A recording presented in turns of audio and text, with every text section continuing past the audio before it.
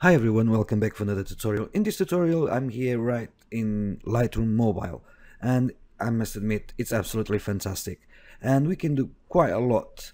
Uh, sometimes people they go like, can I do this, can I do that? Well, I'm going to process this image of a sunset that I, photo I took last year and I'm going to do it, process it entirely here in Lightroom. So as you can see, I've got here edit and edit would be like the basic panel in either Lightroom or even Camera Raw.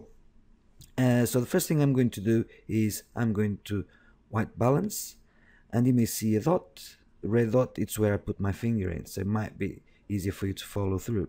So I'm going to shade as a white as my white balance and now I'm just going to add some contrast like so and I'm going obviously bring down the highlights quite a lot and open up the shadows just a touch. Something like so so I have a bit more detail on the rocks. Um, but the sky is still too overexposed. So what I'm going to do is I'm going to drag a graduated filter. And even though it doesn't say here graduated filter in Lightroom Mobile I'm going to click selective. And as you can see right here on your left we've got graduated. So I'm just going just to drag graduated like I would in Lightroom on the desktop version. So there you go. And I'm going to bring down the exposure. So and the contrast. So it's quite a bit more punchy so in the highlights as well. And it looks very cool. So I'm going back to my basic panel which is the edit. And I've got my histogram right here.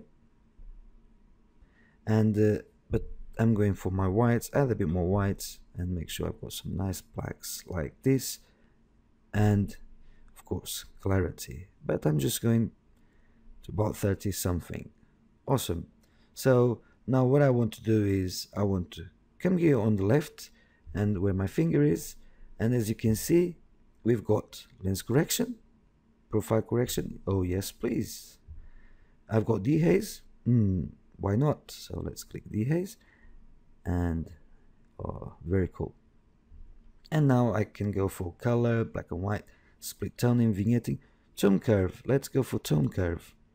And tone curve as you can see I can do it via different channels blue green red or RGB or parametric I'm just going to point RGB and I'm just just going to do the, the normal S curve. Something which too strong.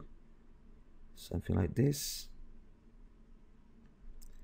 Yeah looks cool and back to my edit and I think it looks rather rather good well.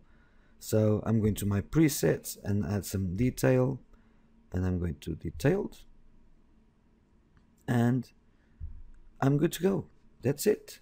A very cool image well warm image because it reminds me of summer and summer holidays. Uh, it was a fantastic evening this evening when I sh shot this image. And as you can see that's before and that's the after before and after. All done in Lightroom Mobile. You can do it either on your iOS or Android device tablets or phones. So absolutely fantastic. Thanks for watching and don't forget to subscribe and share the video with your friends. Thanks for watching. See you next time. Bye for now